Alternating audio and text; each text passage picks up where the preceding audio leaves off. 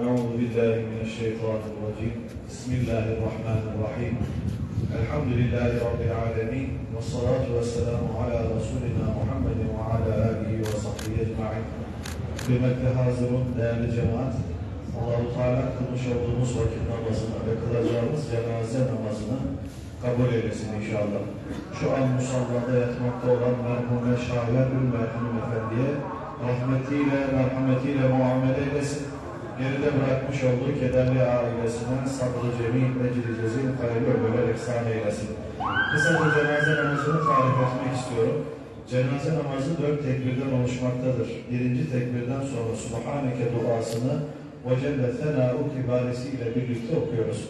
İkinci tekbirden sonra Allahümme salli, Allahümme barik dualarını üçüncü tekbirden sonra bilenler cenazeye mahsus duayı veyahut kunut dualarını okuyabilirler. Dördüncü tekbirden sonra sağa ve sola selam verip cenaze namazını tamamlamış olacağız. Hep birlikte niyet edelim. Euzu billahi mineşşeytanirracim. Bismillahirrahmanirrahim. Allah için namaza, Resulullah için salavata, meyyite için duaya, uyun hazır olan imama, hatun kişi niyetine.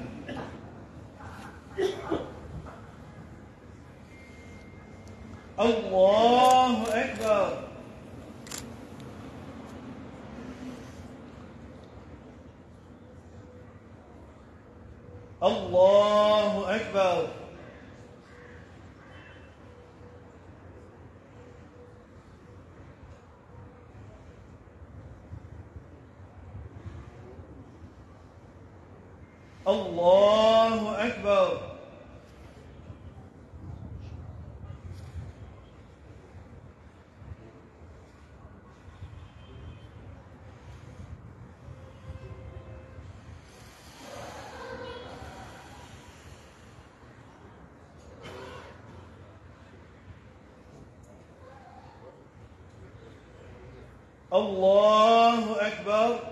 Esselamu Aleyküm ve Rahmetullah. Esselamu Aleyküm ve Rahmetullah. Ruhicun el Fatiha.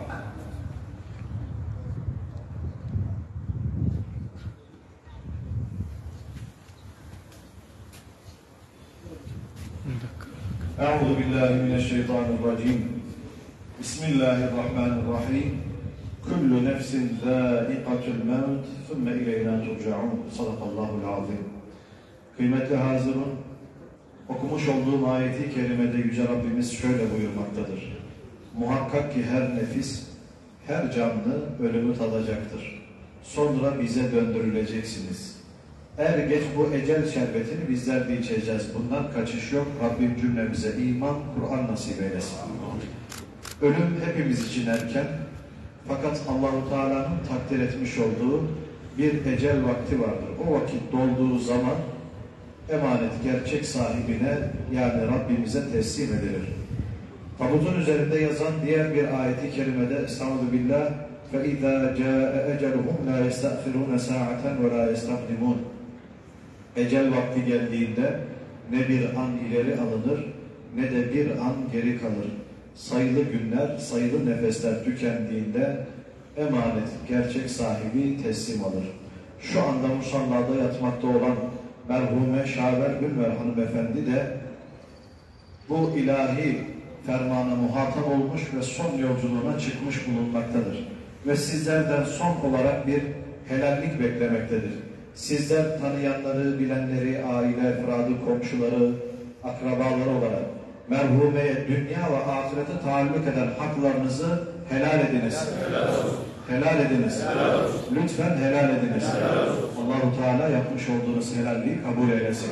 Yüce Rabbim çıkmış olduğu son yolculuğunu hakkında hayırlara vesile eyleyip menzilini mübarek eylesin. Gani gani rahmet eylesin. Kabrini pür makamını cennet eylesin. Amin. Euzu.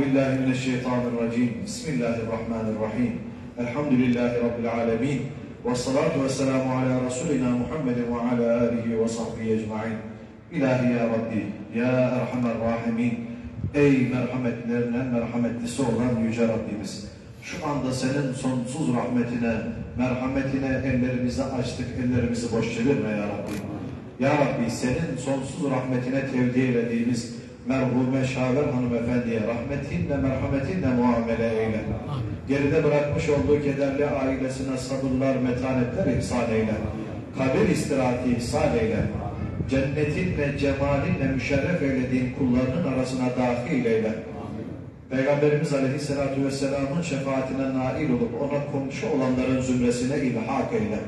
Kâfe-i ehli imanın ve ehli İslam'ın ervahı için, cümle geçmişlerimizin ruhları için, burada bulunan hazırın cemaatin ve cümlemizin ahirete göçmüşlerinin ruhları için, başta Türkiye Cumhuriyetimizin dahisi Gazi Mustafa Kemal Atatürk'ün ve silah arkadaşlarının ruhları için, vatan için, bayrak için fedai can eylemiş olan aziz şehitlerimizin ve merhum gazilerimizin ruhları için, hasaten Şaver hanımefendinin ruhu için, Allah rızası için El Fatiha.